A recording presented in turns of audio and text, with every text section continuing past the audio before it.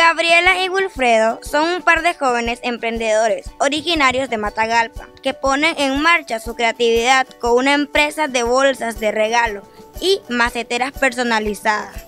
Eh, nuestro emprendimiento se llama Festi Bolsa y Maceteras Reciclaje.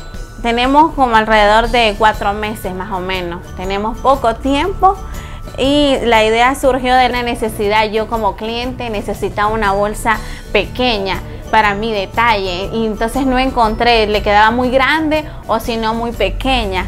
Entonces decidimos eh, hacerlas nosotros a la medida de, de, cada detalle o si no, también tiene que ver el estilo que el cliente quiere. Porque tal vez a veces la persona quiere, mire, quiero una bolsa que lleve esto y esto, entonces nosotros la hacemos. Y de las maceteras, pues surgió de que teníamos muchos galones en la casa y nosotros decíamos, ¿qué, qué vamos a hacer con estos galones?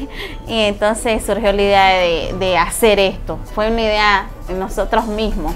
intentamos y ahí fueron quedando bonitas. Estos jóvenes emprendedores apostaron por materiales sencillos e incluso por el reciclaje para entrar al mundo del emprendimiento. Los materiales que usamos son lo que es cartulina, las cintas, y pegamento para pegarlo y lo que es las tijeras.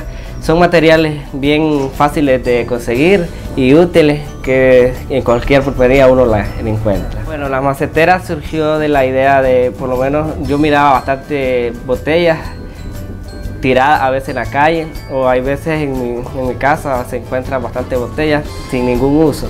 Entonces lo que hice fue sacar una idea de cómo darle un uso reciclaje a lo que eran las botellas. Los retos vienen a diario para estos jóvenes, aún así no se rinden.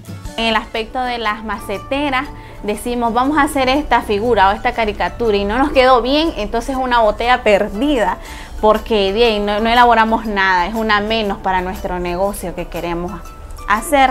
Y en el sentido de las bolsas, pues a veces que no tenemos los recursos para poder comprar otro tipo de material y hacerla como más bonita o más llamativa. Uno de los mis principales retos es ser aceptado por, la población, por la gente que a quien le voy a ofertar mi producto. Ese es uno de mis principales retos.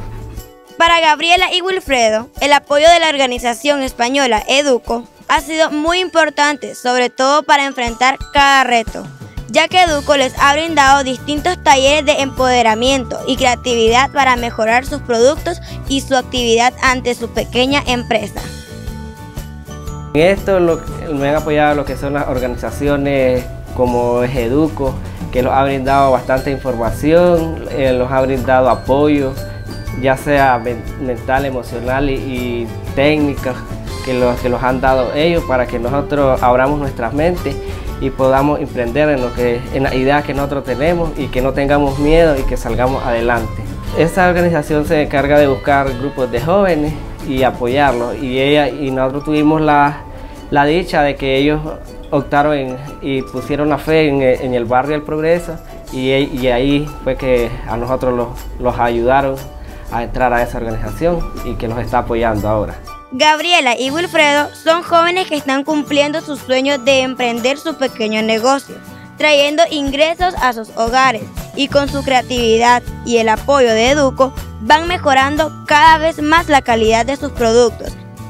Lo principal que uno aprende es a ser más esforzado en uno mismo, porque si uno se esfuerza en querer algo, es para el bien de, propio y para el bien de nuestra familia, porque si emprendemos en algo, en un negocio pequeño, podemos llegar a tener algo mejor, algo grande y donde podemos ayudar a nuestra familia económicamente y también mentalmente para uno propio. He aprendido a conocerme mi creatividad en lo personal.